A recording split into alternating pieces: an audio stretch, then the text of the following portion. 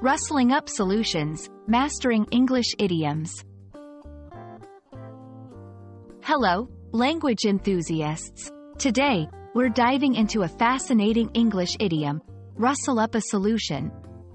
This phrase is a colorful way to talk about finding or creating a solution, often quickly and with the resources at hand. Whether you're a beginner or advancing in English, understanding such idioms can add depth to your language skills. So, let's get started. Rustle up originates from the sound of moving or stirring, particularly in the context of cooking or preparing something in a hurry.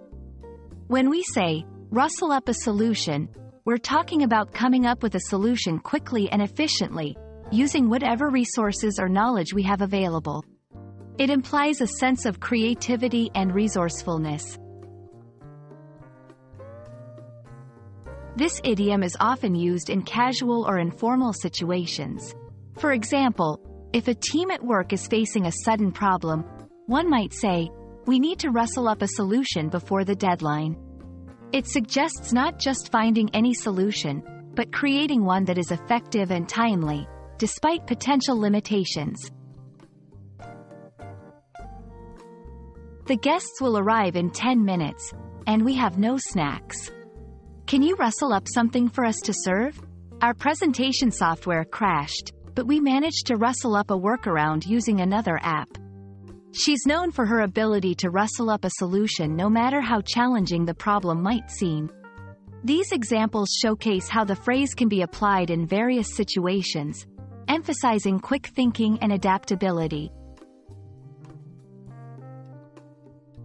Understanding and using idioms like rustle up a solution can make your English more vibrant and expressive.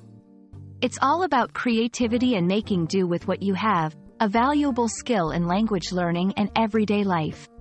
We hope this video has illuminated this charming phrase for you. Keep practicing, and soon, you'll be rustling up your own sentences with ease.